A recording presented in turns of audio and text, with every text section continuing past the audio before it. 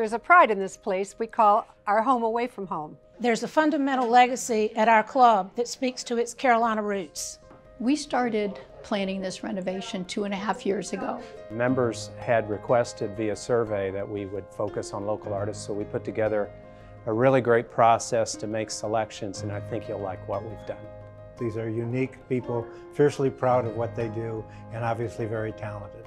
We hope you will enjoy these artists' stories and the work as much as we do.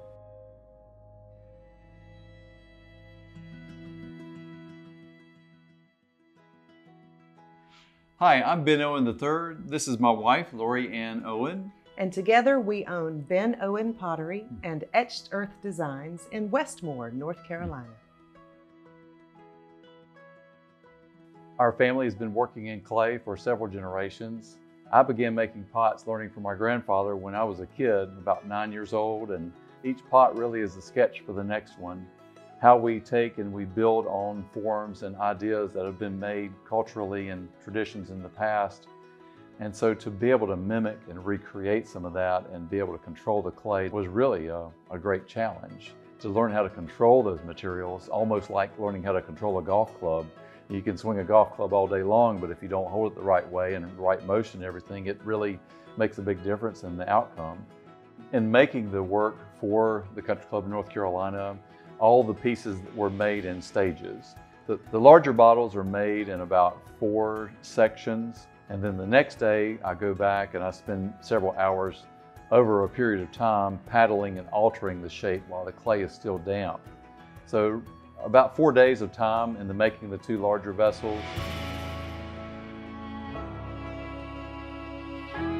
I've been making pots for about 40 years now and so I, I, feel like I'm still learning. There's something new to learn every day. So I feel like I'm working on this one vessel my whole lifetime and how I'm able to take and add components and elements to it that give it another step or a part of the journey. And, and I think that's what really helps me to grow as an artist.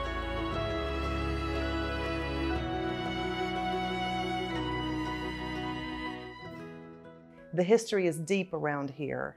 I grew up in Randolph County, not too far from Westmoore where I live now, uh, but a million miles away from the art community.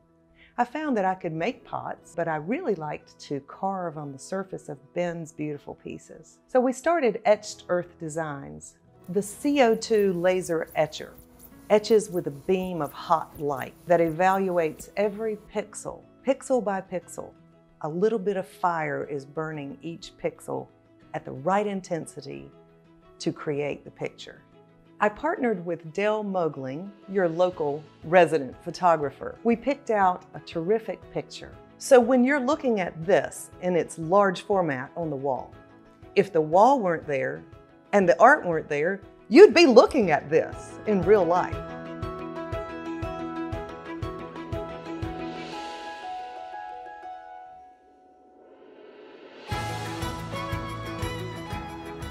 I would like to take the opportunity to thank you for supporting local artisans like myself and my wife and what we make and create here in the local community. It's really a wonderful chance for us to show what we enjoy doing and uh, just a great experience to be able to have something showing in the, in the community.